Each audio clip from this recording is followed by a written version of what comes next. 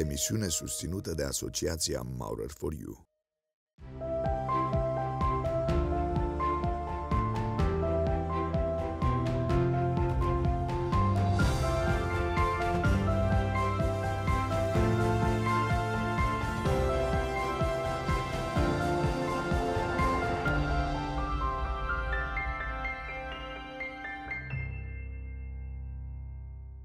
Mâine e o zi mare sau suflarea creștină sărbătorește cinzecime.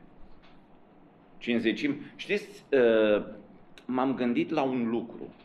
Uh, în perioada în care am stat cu piciorul ăsta obosit, uh, am studiat foarte mult despre sobotnici și despre molocani.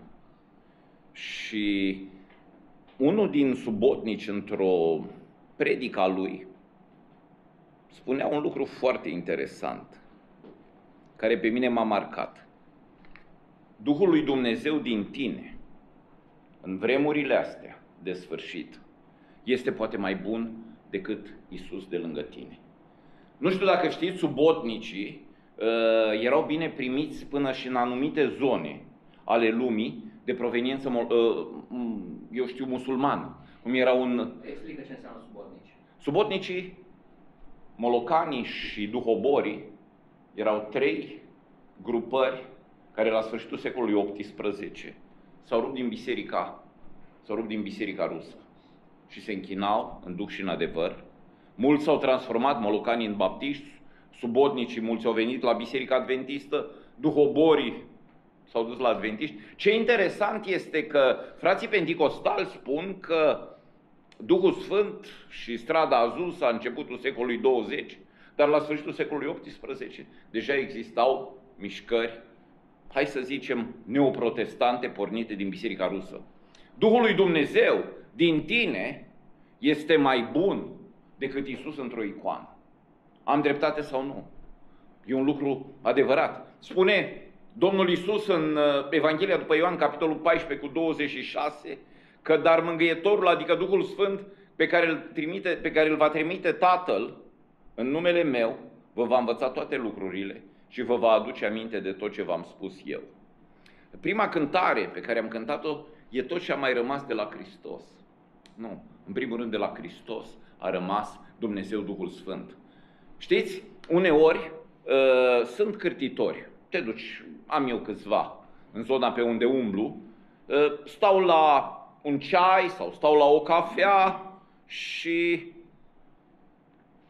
unde scrie frate în Biblie, ă, de exemplu, că trebuie să-i ajuți pe unii.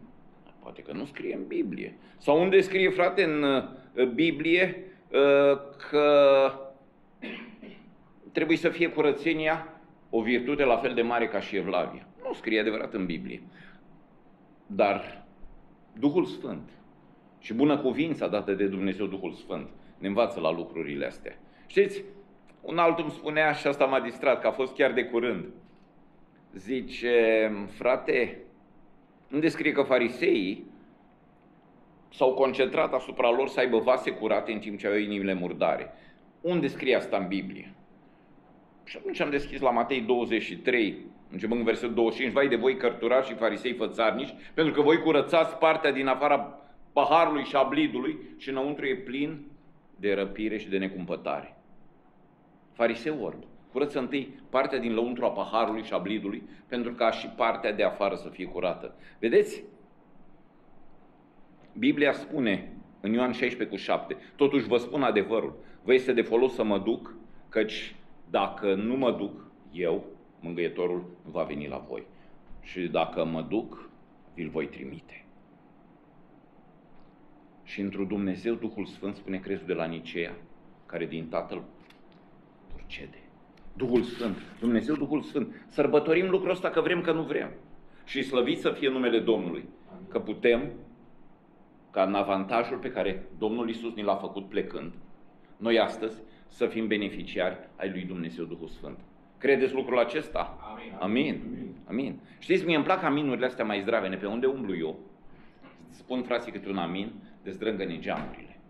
Unii ne-am obișnuit, știți? Eu mă duc foarte des la Bărbulești și un tren din ăla bătrân, tacatang, tacatang, tacatang, luat de la reformă, de la nemți.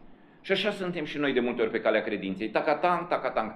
Voi nu sunteți așa și știți de ce, voi cei care sunteți aici. Pentru că în ziua asta toridă ați acceptat, în amiaza asta toridă să fiți aici, în părtășie, unii cu alții, în prezența lui Dumnezeu Duhul Sfânt. Pentru că acolo unde sunt doi sau trei, acolo e Duhul Sfânt. Amin. Și Duhul Sfânt este Dumnezeu și este al treilea membru al Sfintei Treimi. Și Duhul Sfânt este ca Isus și și-a locul pe pământ și în mine și în tine și în fiecare din noi. Și Duhul Sfânt este ajutorul nostru, este mijlocitorul nostru. Duhul Sfânt mijlocește cu suspine negrăite. Duhul Sfânt iubește pe fiecare dintre cei care îl apreciază. Duhul Sfânt este un ajutor care nu ne va părăsi niciodată. Și El este Duhul adevărului, spune Biblia. El este, Duhul Sfânt e cunoscut pentru credincioși. Îl cunoașteți pe Dumnezeu Duhul Sfânt. Amin. Amin. Duhul Sfânt locuiește în credincioși. Și nu uitați că El învață. Și spune Apostolul Petru în 2 Petru 1 cu 21 că nicio prorocie n-a fost adusă prin voia omului, ci oamenii au vorbit de la Dumnezeu mânați de Duhul Sfânt. Nimic n-a venit. Nici, inclusiv Sfânta Scriptură este făcută prin inspirația Duhului Sfânt. Doamne, milă de noi. Doamne, lucrează Tu. Amin. Și în al doilea rând, vreau să vă spun că Duhul Sfânt imediat termin. Duhul Sfânt amintește. Duhul Sfânt amintește. Și ne amintește și spune tot Petru, de aceea voi fi gata să vă aduc întotdeauna aminte de lucrurile acestea, măcar că le știți și sunteți tari în cuvântul pe care îl aveți, dar socotesc că este drept cât voi mai fi în cortul acesta să vă țin treji, aducându-vă aminte. Doamne, ai milă de noi. Amin. Aleluia. Amin. Și spune tot Petru în 2 Petru 3 cu 1. Aceasta e a doua epistolă pe care vă scriu. N-am în două caut să vă trezesc mintea sănătoasă prin înștiințări. Doamne, dă-ne științări. Doamne, dă-ne putere. În al treilea, Duhul lui Dumnezeu, nu uitați, care locuiește în noi, este mai bun decât Isus care este într-o icoană, care este într-o orice altceva. Pentru că Duhul Sfânt e în noi. Duhul Sfânt mărturisește. Și spune Ioan în 15 cu 26, când va veni mângâietor pe care îl voi trimite de la Tatăl, adică Duhul adevărului, care procede de la Tatăl, El va mărturisi despre mine. Doamne, ajută-ne la lucrul ăsta. El condamnă. Condamnă păcatul, pentru că noi suntem păcătoși de multe ori egoiști, egocentrici. El vrea să ne facă neprihăniți, pentru că de multe ori suntem nesfinți, suntem nedrepți. El de multe ori hotărăște acolo unde păcatul și nedreptatea se întâlnesc să nu vină judecata. Dacă nu ai o relație reală cu Isus Hristos, Fiul lui Dumnezeu, poți fi judecat. Poți fi judecat. Și noi nu trebuie să-i convingem. Aleluia! Știți? În bisericuțele mici pe care eu le slujesc, când sună cuiva telefonul, nu? Cel care își sună telefonul trebuie să cumpere o pizza sau ceva bun pentru toată adunarea. Amin. Amin. Amin. Aleluia. Începând de azi, să știți că... Suntem martori. Suntem martori ai Duhului Sfânt, care spunem oamenilor despre păcat, despre dreptate, despre judecată, dar convingerea o trebuie să o lăsăm în seama Sfântului nostru ajutor, care este Duhul Sfânt. Amin. Vestea bună a Evangheliei este că Isus Hristos a plătit prețul pentru toate păcatele noastre. Și atunci când te pocăiești de păcatele tale și îl primești pe Isus în viața ta, vei fi declarat neprihănit, vei fi declarat drept și te vei întoarce cu fața către Hristos. Nu uitați să nu-L întristați pe Duhul Sfânt. Și nu uitați că Duhul Sfânt în drum, El ghidează. Ioan spune în 16 cu 13, când va veni mângâietorul, Duhul adevărului are să vă călăuzească în tot adevărul. Căci El nu va vorbi de la El, ci va vorbi tot ce a auzit, ce va fi auzit și vă va descoperi lucrurile viitoare. Tot ceea ce spune Duhul Sfânt este adevărat. Doamne, milă de noi. Warren Wiersbe, un teolog protestant, spune că Duhul ne călăuzește către adevărul învățăturii lui Isus prin Evanghelie. El ne ghidează către tot adevărul prin epistole și El declară toate lucrurile care sunt și încă vor veni prin cartea Revelații, prin cartea Apocalipsei.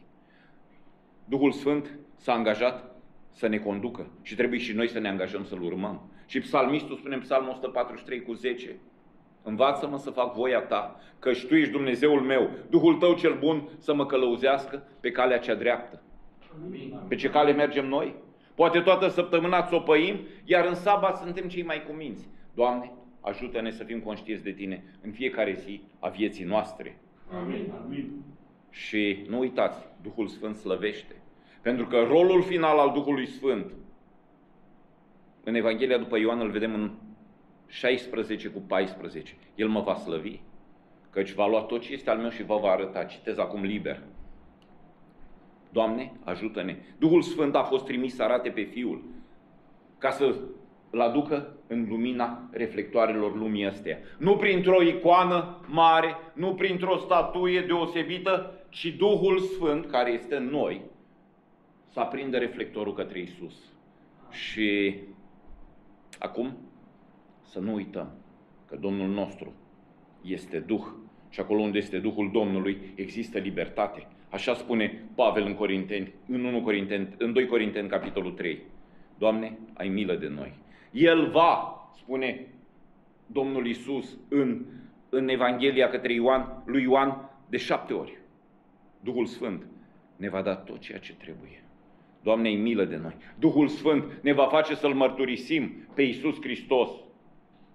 Și lucrul ăsta să ne ajute să facem cu toții voia Lui. Amin. Așa după cum probabil ați văzut, uh, mesajul meu poartă titlul El vindecă ce ascunzi. Sunt lucruri pe care le ascundem, care nu sunt la vederea ochilor lumii. O slăbiciune, o dependență, o boală despre care nici nu prea avem curajul să vorbim. Uh, nu știi exact pe cine să cauți, cui să spui. Uneori uh, te ferești și de cei din casă pentru că e posibil să riști să cazi într-un derizoriu. Nu știu dacă ești tu în această situație. Să nu poți spune nimănui cu ce te confrunți. Să ai ascuns acolo în sufletul tău dezamăgirea, depresia, necazul, pe care să nu poți spune nimănui. Am o veste bună pentru tine astăzi. Mesajul acesta este pentru tine. În tăcuta singurătate a biroului tău, acolo unde nu te vede nimeni și acolo unde lacrimile tale brăzdează fața ta sau seninul ființei tale cade, picături domoale pe covor, acolo, neștiut și singur, este Dumnezeu cu tine. Însă, vedeți, pentru fiecare moment de felul acesta, noi nu trebuie să ne apropiem cu încumetare, ci cu o deplină smerenie. Uh, săptămâna aceasta citeam într-o carte superbă, Viața spirituală a marilor compozitori, despre Johannes Brahms. Johannes Brahms a fost un geniu. Un geniu. Un băiat care a pornit sărac, în cele din urmă ajunsese să aibă foarte mulți bani, dar făcea donații serioase prietenilor și oamenilor care duceau rău și ajunsese deja la un grad de maturitate și la un grad de celebritate încât era comparat cu Beethoven, prietenul lui de odinioară. Și la un moment dat, în culmea gloriei, era recunoscut în marile saloane, în marile societăți ale vremii, un prieten, vrând să-l uh, umfle în pene, zice, ridicând un pahar, zice, și acum, pentru marele compozitor, se uită la el, la care el repede se ridică brusc, ia un pahar și da, aveți dreptate, pentru Mozart, pentru Mozart. Adică el n-a îndrăznit să spună că eu sunt marele compozitor, pentru mine să închinăm sau să bem. Am observat un lucru, dragi prieteni, în viața oamenilor de valoare a existat întotdeauna această smerenie. Am mai citit în cartea aceasta faptul că nu există niciun compozitor celebru ateu. Niciunul care să zică uh, eu am ajuns din haos și voi merge în haos și am niște inspirații fenomenale. Nici măcar unul. Unul să zici, domnule, ăsta nu i-a trebuit Dumnezeu și uite, domnule, ce geniu a ajuns. Nici măcar unul. Nu vi se pare interesant? De aceea astăzi vreau să vă vorbesc despre o istorie. O istorie a unei doamne. O doamnă smerită. Nu smerită pentru că uh, avea ea neapărat un sentiment de smerenie comun, ci smerită de viață și de boală. Doamna aceasta s-a trezit pe lume într-o familie care i-a asigurat cele necesare vieții și pe vremea aceea era foarte greu să îți asigure cineva cele necesare vieții, ba mai mult, a ajuns să fie și avută. Și ca să fii femeie cu bani în vremurile respective era destul de dificil. Și știți ce poate să fie mai frumos pentru o femeie din secolul I ca momentul acesta în care să te constați că ai zestre, că ai bani. În momentul în care aveai zestre, aveai bani, uh, dacă erai și un pic frumușică, ceea ce cred că era, uh, aveai foarte multe șanse să o duci bine toată viața, să te căsătorești cu un bărbat bun, să nu duceți lipsă de nimic, să faceți copii și așa mai departe. Doar că vedeți dumneavoastră ce se întâmplă aici este exact cum ni se întâmplă de multe ori în viață. Îți faci niște planuri, te căsătorești, trebuie să ai copii, să meargă bine. Vine un taifun atât de tare încât uh, ești descentrat.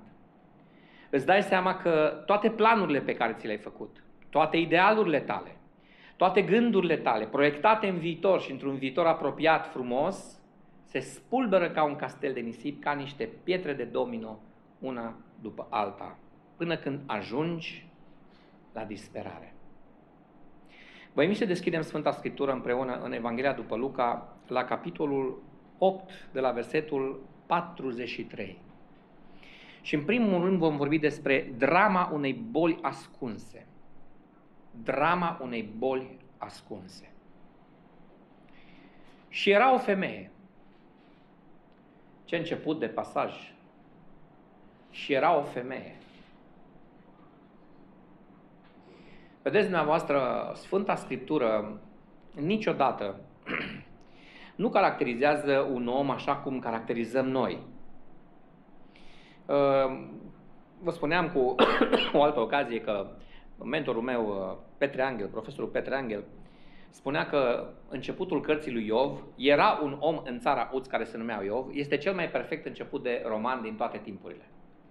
Ei bine, întâlnim pragmatismul acesta al Bibliei și Biblia uh, vorbește foarte simplu despre evenimente și le prezintă în mod detașat, nu arată cu degetul într-un fel urât, așa cum facem noi oamenii atunci când cineva are un eșec sau când cineva trece printr-o perioadă grea, spunând, uite domnule la păcătoasa asta sau uite domnule la uh, femeia asta care, la noi în sat se zicea, e necălită.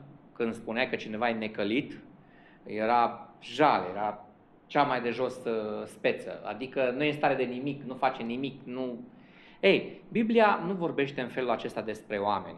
Noi dacă am putea să spunem că o pramatie stătea la vamă, Biblia nu zice că o pramatie stătea la vamă, zice că Isus a văzut pe un om șezând la vamă și numele lui era Matei. Acesta este cuvântul lui Dumnezeu. Prin Duhul Sfânt Dumnezeu ne îndeamnă să vorbim frumos și respectos. Și era o femeie care de 12 ani avea o hemoragie. O scurgere de sânge.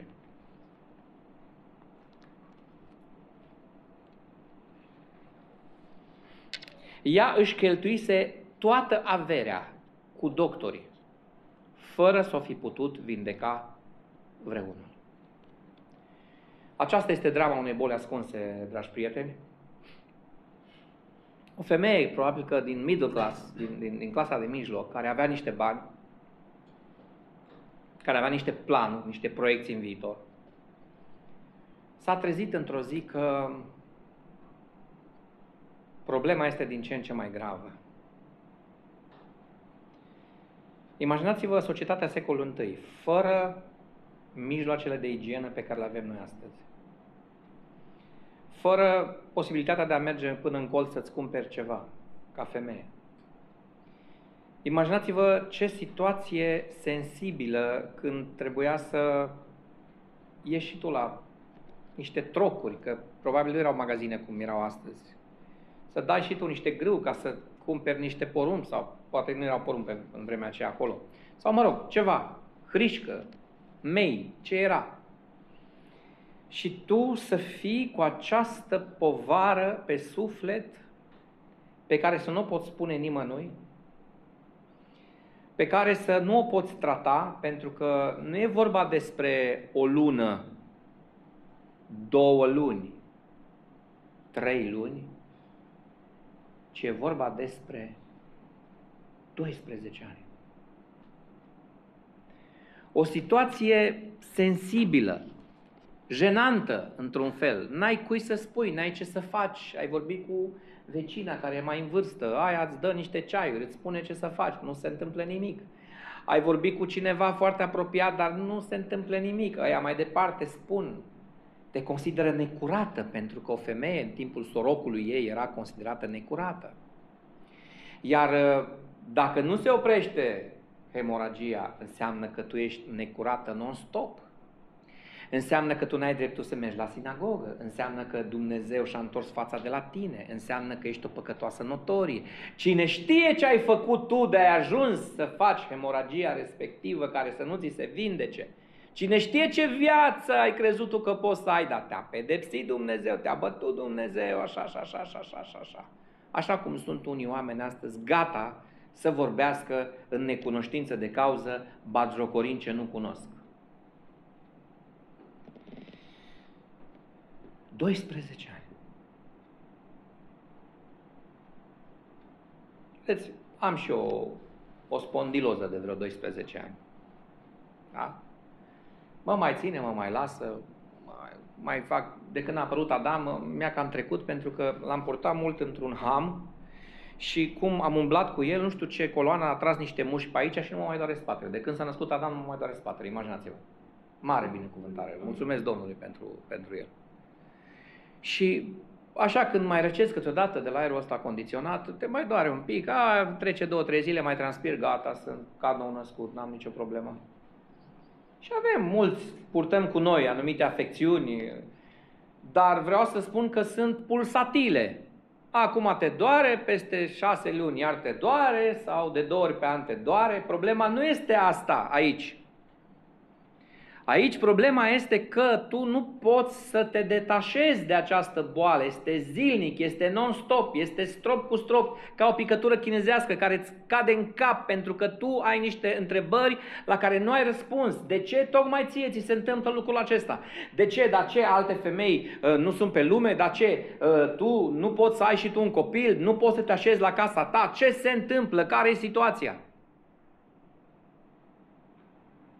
Drama unei boli ascunse, dragi prieteni, este greu de exprimat în cuvinte.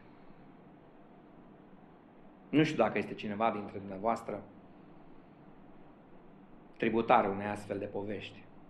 Dar știu că sunt foarte mulți oameni care trăiesc drame pe care noi nu le știm. Știați că zilnic ne întâlnim cu oameni care duc o luptă despre care noi nu știm nimic? Zilnic ne întâlnim cu oameni care duc o luptă despre care noi nu știm nimic. Nu suntem obișnuiți cu ei. Ei zâmbesc. Sunt, uh, uh, suntem obișnuiți să-i vedem uh, zâmbind. Dar ce este în sufletul lor? Îi vezi în mulțime, par oameni, ok, o vezi pe femeia asta în mulțime, zici, da, e o femeie deosebită, da, arată bine, tot este în regulă. Ba, uite, și roșii în obraj, da, un pic mai palid astăzi. Dar Îți alungi gândul acela că doar na. Toți avem momente. Problema este atunci când uh, nu ai cu ce să te tratezi. E o situație în care încerci cu disperare să găsești soluții, dar atunci când ai cu ce să te tratezi și n-ai la cine să te tratezi, situația este și mai disperată. Pentru că lumea din jur îți dă impresia că dacă tu ai bani, rezolvi problema, domnule. Dacă tu ai bani, poți să prelungești viața. Spuneți-mi, vă rog, avea Steve Jobs, Steve Jobs avea bani? Da. Da? Cât ar fi dat el să mai trăiască măcar trei luni?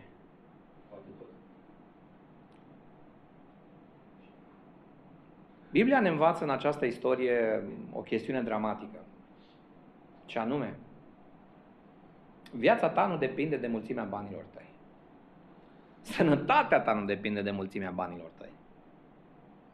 Pentru că e posibil să ai bani, e posibil să fii moștenit o mică avere și încetul cu încetul să ți se ducă averea cu doctorii și fără rezultat.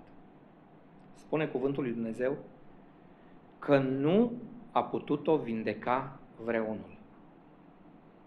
Și știți, în vremea aceea doctorii se dădeau mari, pentru că erau la început și ziceau, sigur, rezolvăm, dar sigur, cu tare. Astăzi doctorii s-au mai... Nu le facem tot ce putem, vedem cu ajutorul lui Dumnezeu, nu-ți promit că te vindecă. Dar pe vremea aia erau gură mare doctorii. Ce, dar sigur, te asculți de mine și vai. Dar trebuie să dai niște bani. Și bani și bani și bani și ajungi într-un stadiu de epuizare fizic și psihic în care nu mai ai nicio șansă. Acesta este momentul pe care îl descrie Sfânta Scriptură. După 12 ani de boală ascunsă, agonie, interese, medici, cei mai buni medici, unde sunt cei mai buni? Aici. Niciun rezultat. Doar banii luați. Pentru că știți, există un proverb românesc care zice de unde tot iei și nu mai pui, ce se întâmplă? Se termină. Al doilea moment după drama unei boli ascunse este durerea care te obligă. Durerea care te obligă. Femeia aceasta a auzit că există un mare medic. Atenție! Biblia nu sugerează deloc faptul că n-a făcut bine că s-a dus la medici. Doar subliniază faptul că nu s-a reușit cu medicii și că uneori prioritățile noastre ar trebui să fie diferite. Prima dată ar trebui să mergem în altă parte. Eu, eu sunt convins că medicii de astăzi, care sunt responsabili și onești, sunt niște prelungiri ale mâinilor lui Dumnezeu. Da? Dar tu, înainte ca să te duci la un medic, ar trebui să te încredințezi lui Dumnezeu ca să te călăuzească la ce medic să te duci. M-am dus și eu la doi. Am auzit că unul e bun, e bun. Și apoi am sunat pe un alt frate care mi-a spus despre altul că e bun, e bun. Și m-au ciopărțit amândoi. Și al doilea era atât de uh, nesimțit că s-a uitat la mine și mi-a zis vă operez în seara asta și eu mâine plec în concediu. Nu ne mai vedem. Doamne ferește, mă uitam la el așa să-l mănânc cu fulgi cu tot. Și nu l-am mai văzut de atunci. Și bineînțeles că după a doua operație, nu mi-a trecut. Și mi-a apărut la loc afecțiunea pe care o avea. Și în disperarea mea, cum spune cuvântul lui Dumnezeu, în strâmtorarea mea am căutat pe Domnul. Dar nu așa, știți, Doamne ajută să găsesc un doctor, nu așa. Că nu asta e cheia. Uh, eu sunt suficient de deștept ca să găsesc un doctor. Nu, aduți aminte de Johannes Brahms. Când vrei să găsești un medic, pune genunchiul jos și ascultă ce face femeia asta ea s-a apropiat pe dinapoi. Versetul 44. De cine s-a apropiat femeia aceasta? De Domnul Isus Hristos. Poate n-ai curaj să te înfățișezi înaintea Domnului cu viața ta, cu boala ta, să zici, Doamne, uite, ăsta sunt... Uh... Femeia asta s-a apropiat pe dinapoi, era jenă să se ducă în față, erau mulțimi de oameni acolo, îmbulzeau pe Domnul Hristos mulțimi de oameni. Domnul Hristos era chiar într-un drum pentru că fruntașul sinagogii venise și s-a aruncase la picioarele lui și a zis, fica mea de 12 ani trage să moară. Și când a auzit ea această expresie de 12 ani, Doamne, uite, parcă e ocazia vieții mele și eu tot de 12 ani. Și eu tot de 12 ani. Și s-a apropiat pe dinapoi. Femeia aceasta a înțeles că durerea o obligă să apeleze la Mântuitorul Iisus Hristos. După ce a apelat la medici, cei mai buni medicii, durerea ei a obligat-o să apeleze la Mântuitorul Iisus Hristos. Și ce a făcut femeia aceasta? Ia uitați, s-a dus prin spate, unii cred că ea s-a târât de fapt pe jos în mulțime, e posibil să se fi târât, nu știm exact, dar Biblia nu spune asta, spune că s-a dus pe dinapoi și ascultați ce spune Biblia, s-a atins de poala hainei lui Isus. S-a atins de poala hainei lui Isus. nu știu dacă știți cum era îmbrăcat Isus. Nu avea costum, cravată, cum avem noi astăzi.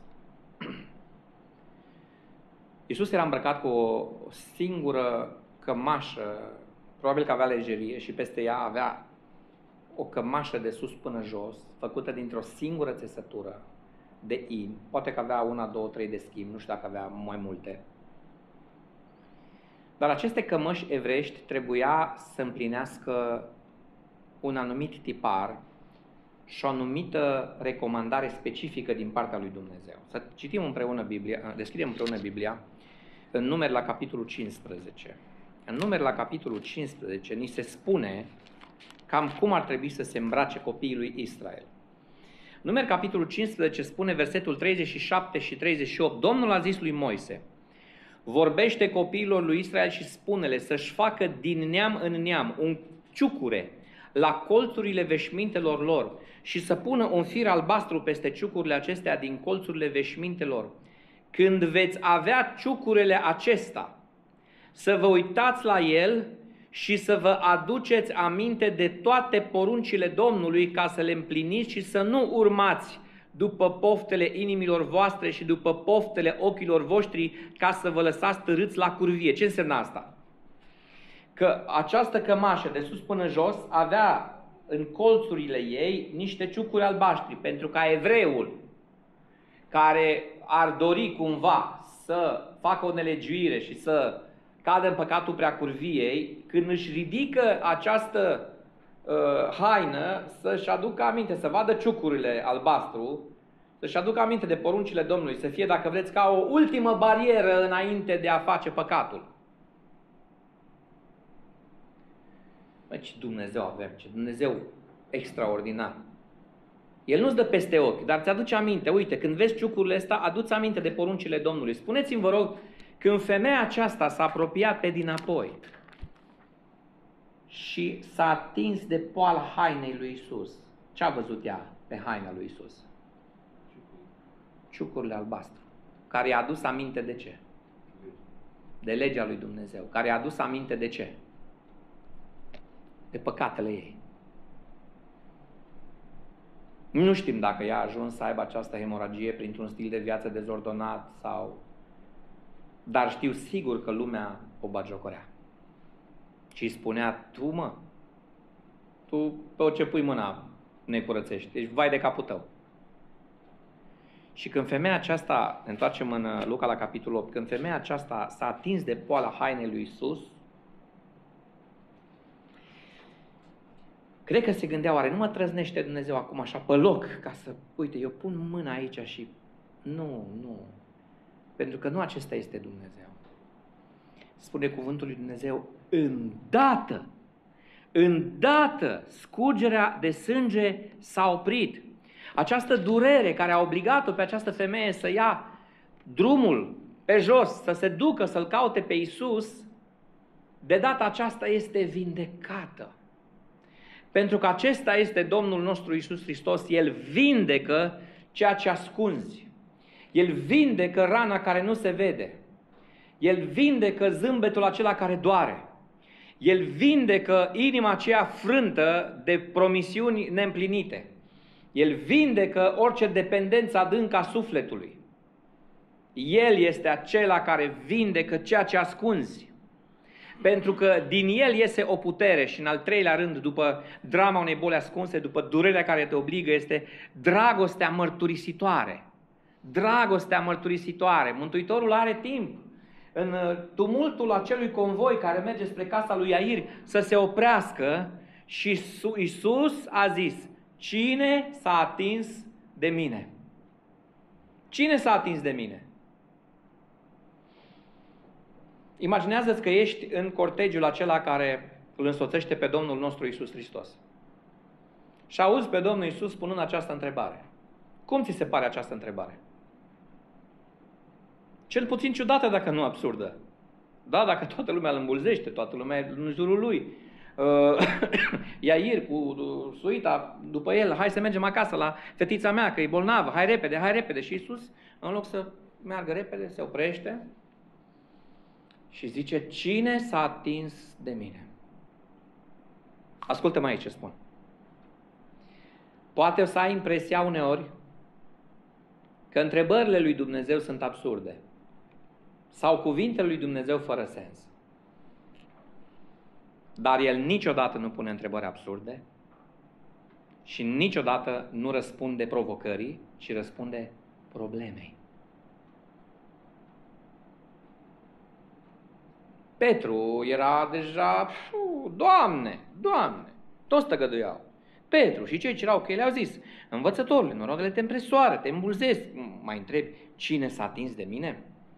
Da, zice Iisus, pentru că vreau să vă spun ceva. Această întrebare este pentru cineva anume. Am simțit că a ieșit din mine o putere. Versetul 46, dragi prieteni, este cheia vindecării.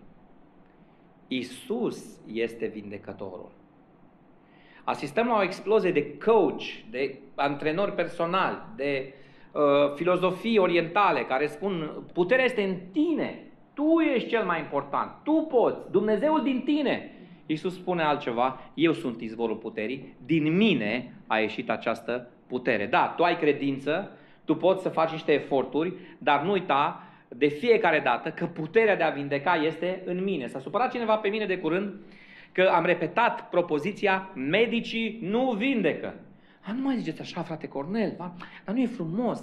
Zic, ba da, e foarte frumos. Medicii trebuie să știe că ei nu vindecă, ei ce fac? Ei pun organismul într-o stare în care se poate autovindeca. Spre exemplu, ți-ai dat cu barosul peste mână și ai făcut o bubă aici. Ce face medicul? Vine, te dezinfectează, îți pune un pansament. De ce spune pansament? Medicul vindecă? Nu vindecă. Pune pansamentul în așa fel încât germenii din afară să nu pătrundă. În prima fază sângele ocorește teritoriul lezat, apoi se face o coajă, după aceea, coaja aceea, ă, sub coajă se face o piele nouă, piele nouă, începe să cadă coaja și apare pielea nouă. Cine a vindecat? Medicul a vindecat. Nu. Medicul doar a pus organismul într-o stare în care face ca organismul să se autovindece, pentru că noi avem în noi de la Dumnezeu niște mecanisme extraordinare și cu ajutorul lui Dumnezeu noi ne putem vindeca. Puterea nu este în tine, dragul meu, indiferent cât de mulți coach ți-ar spune lucrul acesta. Puterea este în singurul Dumnezeu și Mântuitor Iisus Hristos. Iar dacă vrei să ai credința aceasta, trebuie să ai credință că El poate să-ți vindece ceea ce ascunzi. Dependența aceea de pornografie sau de alcool sau de substanțe interzise. Dependența aceea pe care nu o poți spune nimănui deocamdată. El are această putere. Ce trebuie să faci? Uneori e mai simplu, alteori mai complicat. Dar în varianta simplă este acest lucru. Ca această femeie, fi smerit, vină în fața lui, întindeți mâna și spune, Doamne, vreau să te ating. Vreau să ating puterea ta divină. Vreau ca din tine să iasă această putere să mă vindece. Vreau ca un uh, miracol să se transfere de la tine spre sufletul meu vindecare. Poate unor trebuie să te duci la un om care să te ajute să faci lucrul acesta. La un om priceput. La un duhovnic, la un pastor, poate chiar la un psiholog. Ai nevoie să înțelegi că puterea este în afara ta și că El are toată puterea. Și ascultați acum ce spune cuvântul lui Dumnezeu. Femeia când s-a văzut dată de gol, versetul 47, a venit tremurând. S-a aruncat jos înaintea lui. Știți ce înseamnă asta? Vă, vă puteți imagina? Deci imaginați-vă că a venit la ca femeie, a fost prinsă, a fost prinsă ca un hoț care a furat uh, ceva ce nu-i se cuvenea, dar Mântuitorul nu asta a dorit. A dorit doar să îi dea ocazia să mărturisească spre slava lui Dumnezeu Tatăl că Isus Hristos este Domnul. Și a venit și s-a prăbușit pur și simplu, colaps în fața Domnului Isus Hristos și a spus în fața întregului norod din ce pricină se atinsese de el și cum fusese vindecată numai decât, Isus i-a zis, îndrăznește fică, credința ta te-a mântuit. Ce înseamnă asta, dragi prieteni? Înseamnă că dacă această femeie nu mărturisea, ea era doar vindecată, nu era mântuită.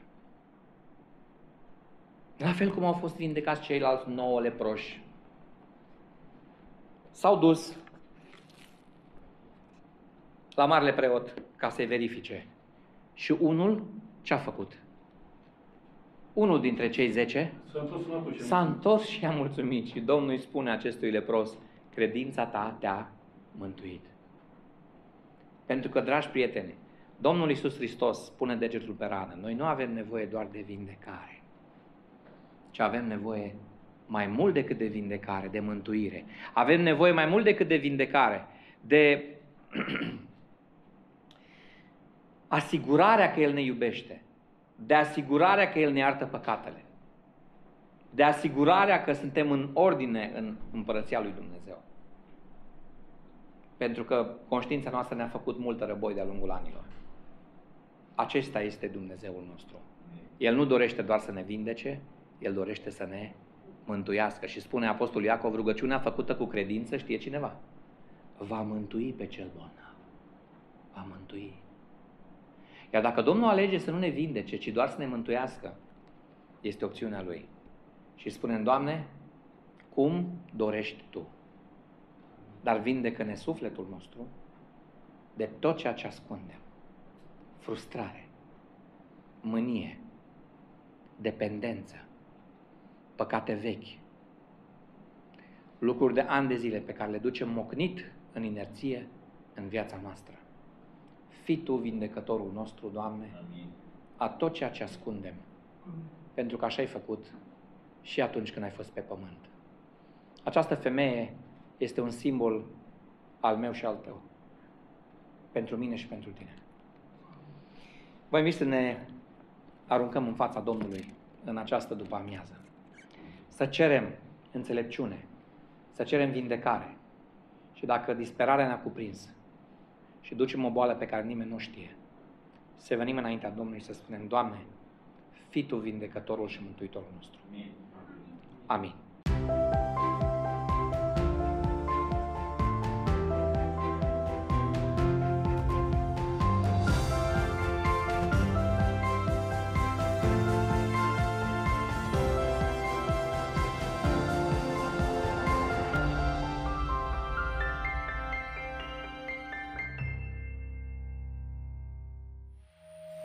Emisiune susținută de Asociația Maurer for You.